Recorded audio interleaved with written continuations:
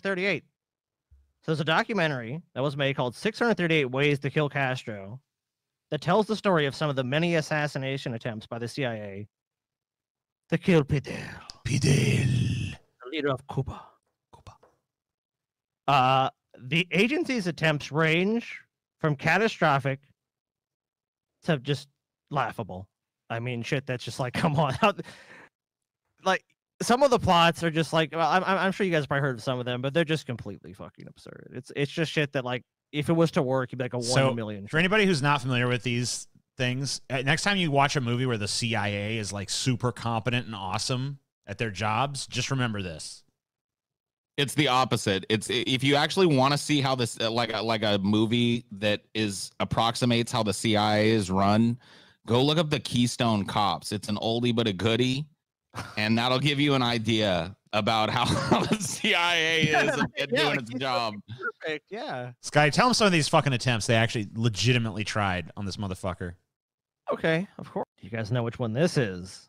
I will confirm if these are true or untrue. Uh, well, of course. T- TJ. You obviously. I mean, Uh, is Fidel, this- this is. Is this the one where they try to poison a cigar? uh close, but no cigar. TJ. No, say, ah, you go, you beat me to it. You're a smart man, Scotty. People don't know. I'm usually the first to the close, but no cigar. Oh. Uh, I'm dead, dude. I'm fucking. I'm worm food. uh, so the most famous attempt to kill uh Fidel was in 1960 when the CIA. Oh shit, TJ! You know what? I have to have a, a mea culpa to you because this is called ex- exploding cigar, but poisoned is actually right. So you know what?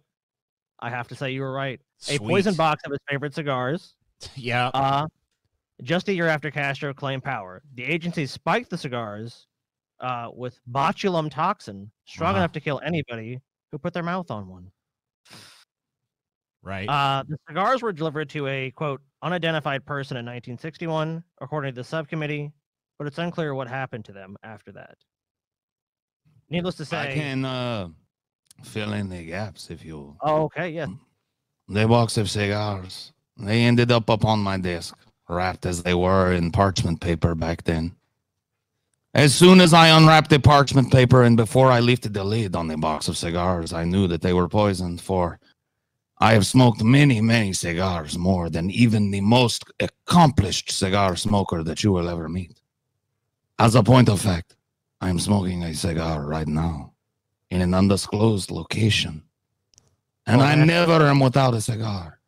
When I inhale at night, I inhale from a giant cigar that is rolled from me each night. When I exhale, I exhale the smoke from that cigar. It is the key to what keeps me alive. And so, you know, I know cigars better than any man knows cigars. So I knew immediately that this was another ham feasted attempt at my life.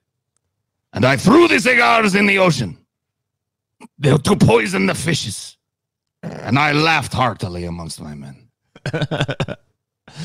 awesome. This is a fake picture. This is one of my body doubles. You can always tell because there is no cigar. Uh, of course, Of course, right. naturally. Sorry to interrupt. Go ahead.